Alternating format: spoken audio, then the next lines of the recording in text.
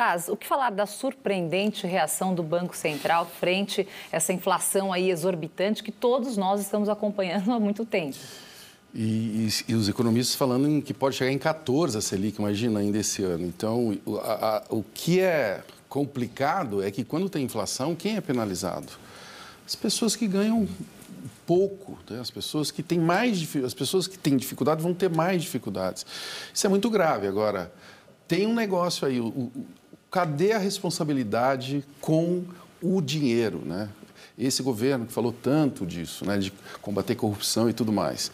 Eu fico vendo ali o pessoal submetido a uma forte pressão, Karen, eu lembro da notícia que você deu há pouco. Talvez eles devam pedir um pouco de Viagra para o pessoal do Exército, né? 35 mil comprimidos eles compraram e, e justificaram que é para combater.